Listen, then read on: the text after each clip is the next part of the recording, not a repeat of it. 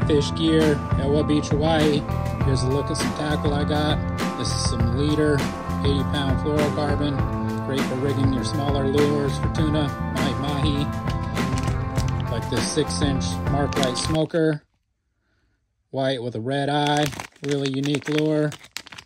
Has a hollow center. The bubble trail comes out the side. A lot different than your typical jet where the holes come out the center of your lure and your bubble trail is coming out the skirt. This is a Koya 7-inch mini AK jet bullet. Really sweet lure that I'm going to throw some Flashabou on next.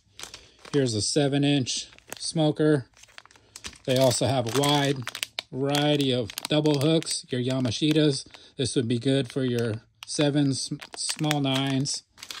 They also have the coolest air fresheners out there.